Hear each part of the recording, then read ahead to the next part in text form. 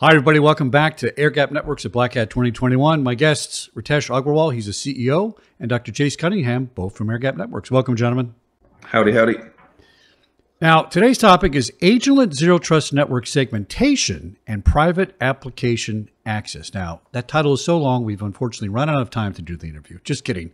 Uh, good topic we had to talk about. Chase, let's throw it to you first. Help us define microsegmentation and zero trust microsegmentation. So, uh, you know, the easiest way to think about it really is to think about uh, a ship. Um, I think one of the best examples of a lack of microsegmentation was the Titanic. They had a compartment that got busted, turned into a couple compartments. Next thing you know, the whole ship goes down, and uh, you wind up with a movie with Leonardo DiCaprio and, and a bunch of Oscars. So, like, that's the lack of microsegmentation. In B being ex Navy, what we practice is watertight integrity, which is based on compartments. And what you're doing is you're setting up very specific, very select areas for things to move, and everything else is locked off. And that way, if you lose a compartment, you don't lose the whole ship. That's really the difference in segmentation and micro-segmentation is segmentation is some control, some uh, comp compartments in, in sort of big areas, and then micro-segmentation, extremely granular, very segmented to keep control of things when something bad happens. Now, I love that analogy. It makes a lot of sense to me being at the bottom of the cybersecurity knowledge pool. I get it. And I think that's a super good way to describe it. Now, Ritesh, here's something I think about all the time. Are we in zero trust fatigue? Uh, how do you make it easy for enterprise IT, big or small, to start? And this is this is something I dealt with in the physical security world. You know, we called it complacency.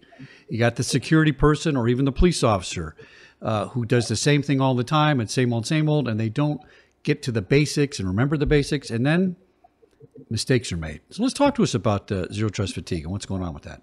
Yeah, Chuck, thanks. Thanks for having us. Um, look, zero trust is misunderstood oftentimes by many of the IT organization like many other tools, they think that if we had a, if we bought a product from certain company and uh, just wave our hands, it'll automatically be zero trust for the whole organization, which is not true. Zero trust is something that is sort of a journey. You have to start thinking about individual pieces of your organization, individual groups of your organization, and start somewhere, and eventually you'll, you'll build up to be a zero trust organization. As a result, what has happened is there's a lot of talk about zero trust, but the misunderstanding of IT organization is creating the impression of fatigue, which I think it's clearly not. Now, one, one thing that is very clear is zero trust is the way of future as we go forward, whether it's in terms of protecting your devices or users or applications, zero trust is the only way, uh, in my humble opinion. The whole internet is zero trust. You don't trust me on the internet and I don't trust you on the internet. Why should we behave differently in the enterprise. Now, from the from AirGap's perspective, what we are doing is making it really easy for our uh, our customers to deploy AirGap and start the start the zero trust journey. And the first thing first in that sort of order of uh, things is to make zero trust agentless. So our solution is agentless, and there are a couple of benefits of this. Number one is you can deploy this across the organization within a short period of time. And the second thing uh, about agentless is it works with every device, every endpoint, whether it's a managed endpoint like your Windows PC or a MacBook Pro or a, uh, or or some Linux machine or a server. It also works with unmanaged devices like your TV, like your thermostat, like Apple Watches and, and iPhones, etc. And so that becomes very easy for enterprises to roll out a zero trust solution that is uniform across the organization and that's what air AirGap's focus is. All right. So, you know, with all these layers of defense, and there's hundreds of them on people's systems, how does air gap fit into that? Or maybe better, does it disrupt this normal process and, and really give us a solution that works much better?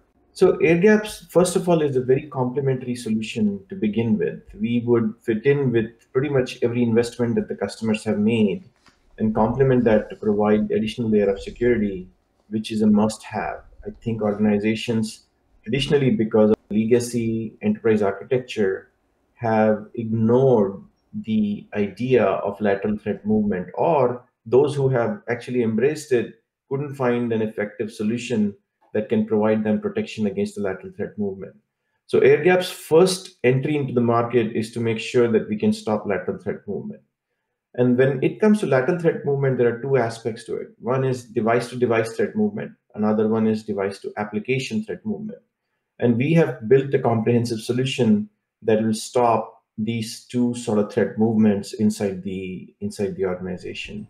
And uh, that's what we keep focused on. So, Dr. Chase, we're at uh, COVID 2.0, got a new variant coming back, remote workforce maybe coming back, and probably it's already 50% now. What's your view on ransomware penetrating these legacy systems uh, or the custom built private applications? This has to be problematic. Yeah, it's, it's problematic, but honestly, it's a problem that we've we've solved. Um, this is not a problem that should continue to be a problem.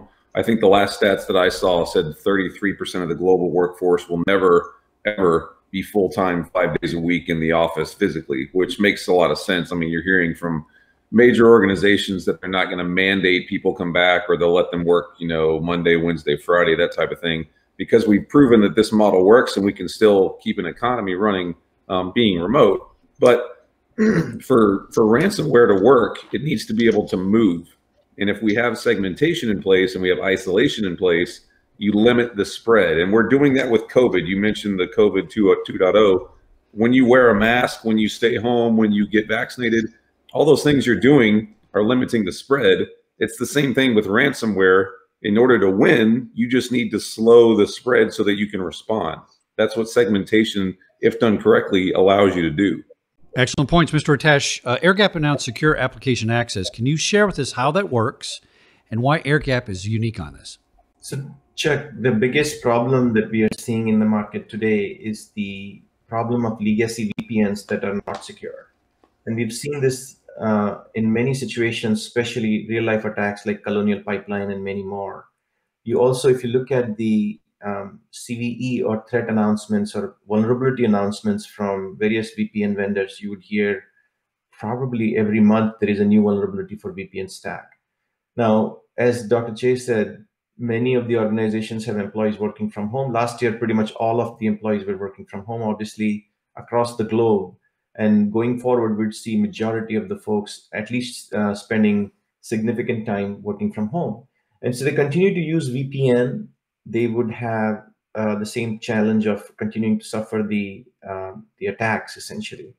AirGap has built this unique solution called Secure Application Access that sits in front of the application, ensuring that the applications are protected regardless of your access method. So it can come through VPN, you can come through your on-prem access, doesn't matter to, to AirGap. AirGap will always be shielding your applications from the adversaries.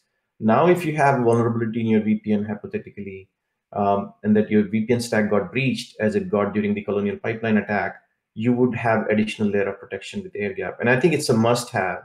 The second aspect of secure application access is the, the notion of uniform and, and universal multi-factor authentication as we know, and we all use multi-factor authentication for pretty much every social media account, like your TikTok, like your um, Instagram or Facebook or Google, and so on and so forth. And I'm appalled that enterprises still have applications that do not support multi-factor authentication. For some reason, we, we deem our social media accounts more important than our corporate accounts. Shouldn't be the case. And I, I think what AirGap does it is actually implements multi-factor authentication for pretty much all of your applications without touching any of the applications, whether they're web applications or non-web applications, whether your employees are using remote desktop protocol to connect with your Active Directory or internal assets, or whether your organization is connecting to SAP or your organization is connecting to, to SSH uh, or RDP protocol. So that's the beauty of AirGap. It creates a uniform experience for your employees where they're logging in to Salesforce or Office 365 or some homegrown applications that you've built five years ago or 10 years ago, you get that protection that you deserve with secure application access tool from AirGap. Dr. Chase, I'm always interested in your final thoughts, maybe some of your forecasting for what's going on. Uh, ransomware is, uh, as Ritesh had told me a couple days ago, it's really just the beginning. This sounds like it's bad. We haven't seen the horse vote, I think. What are your what are your thoughts on going forward here? Well, uh, yesterday I read an article about uh, the uh, COVID vaccination system in Italy being ransomed, and you know you can imagine that there's folks over there that are trying to get vaccines and people trying to validate that they've gotten the vaccine, and you know that's how we kind of claw our way back out of this whole thing. Um, you know, we've talked for a long time about that ransomware was going to cause human uh, catastrophe, and unfortunately, I think we're starting to see that. Uh, the the issue that that keeps me up right now is we do have a lot of these new services coming online with things around COVID response, vaccine relief, uh, vaccine integration, et cetera. And those are very, very ripe targets because they're just being thrown up on the internet and people are trying to get those apps out really quickly. Um, I'm picturing in the very near future, we're going to see some sort of ransomware attack on some system like that in the United States, which will cause continued degradation of the response to COVID and getting us back out of this hole that we're dug into. Uh, good points, Dr. Chase. And Ritesh, to his point, um, I think the human suffering is something that we're most worried about. It's one thing to lock up my files and now I can't send out my subscriptions to my customers or something. That's not good. But when we start messing around with people's medical records, access to medical care through, through ransomware, this is certainly something much more serious. Give me some of your predictions and thoughts on, on where this is going. And, you know, really tell us how AirGap is going to stop this. Absolutely. Look, ransomware is here to stay. There is no doubt about that. And the cyber criminals are going to hit you where it hurts the most because that's how they can collect the most amount of ransom, essentially. So I'm not surprised. Uh, I'm, I'm, obviously disappointed, but I'm not surprised to know that um, that the the medical system is probably the biggest victim of ransomware attacks. And we'll see more mission critical um, services being impacted with ransomware as we go forward. I hate to say this every time I do, I really do, but what I mean, uh, this is the reality that we'll all have to face, much like COVID 19. We wish it would go away, but it'll take its own time. And the same thing is uh, with ransomware. It won't go away because we wish it would. Uh, it would go away if we build if enough immune system. And air gap is in the business of providing that immunization. You need to have remote distributed workforce protected. Number one, that's where right now we have the biggest vulnerability or the weakest spots then you need to make sure that if the if and when these guys come back to work they don't end up infecting every other device and every other element inside your network then you need to make sure that there's some protection for that and finally you need to make sure that you protect your business assets that are hosted in data center that comprehensive solution is airgap's promise and uh, you can visit us at airgap.io you can meet us at the black hat uh, conference that is going on right now uh, we are at ic booth 34 and we look forward to meeting you in person and saying hello. Ritesh Agrawal, CEO, Dr. Chase Cunningham from AirGap Networks. Good stuff, gentlemen. I look forward to more information from you as this evolves because as we go into COVID 2.0, I think we're going to see much more uh, of an uptick in these issues, and air AirGap's there to, to save the day, as far as I'm concerned. Thanks so much for coming on Air AirGaps at Black Hat 2021. Thank you, Chuck, for having us.